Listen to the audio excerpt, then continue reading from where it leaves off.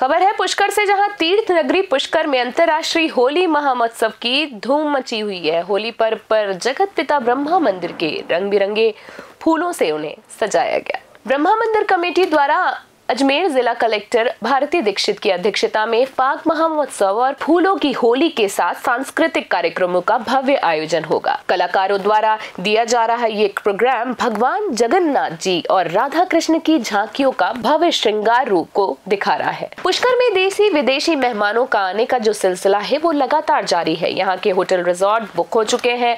अनुमान है की करीबन एक लाख लोग पुष्कर से अंतर्राष्ट्रीय होली महामहोत्सव में हिस्सा बनेंगे। पर्यटन विभाग की ओर से 24 मार्च को पुष्कर मेला मैदान में सांस्कृतिक कार्यक्रम, कालबेलिया, नृत्य सहित विभिन्न कार्यक्रम आयोजित किए जाएँगे। 25 मार्च को नगर पालिका द्वारा धुलंडी कार्यक्रम का आयोजन होगा। पुष्कर से सीताराम गहलोत की रिपोर्ट।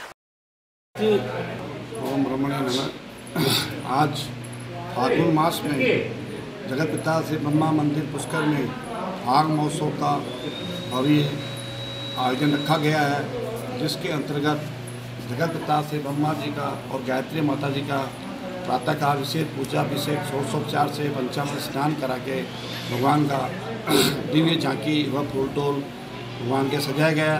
तो बाहर से विशेष बेंगलोर, कलकत्ता, नासिक आदि स्थानों से फूल मंगवाकर फूलों से भगवान का श्रृंगार किया गया तथा 1100 किलो फूलों से और गुलाब जल से तथा इत्र से भगवान के होली महोत्सव को होली का खेल खेल खेली जाएगी तथा वृंदावन के कलाकारों द्वारा राधा कृष्ण के रूप में झांकी सजाकर नृत्य और भगवान को श्रीनाथ जी की भव्य झांकी सजाकर दिखाया जाएगा। Very alive here and um, I feel like it's a place where a lot of things are possible.